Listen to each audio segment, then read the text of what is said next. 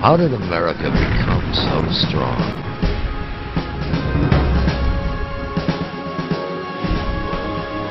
How did we achieve unprecedented freedom?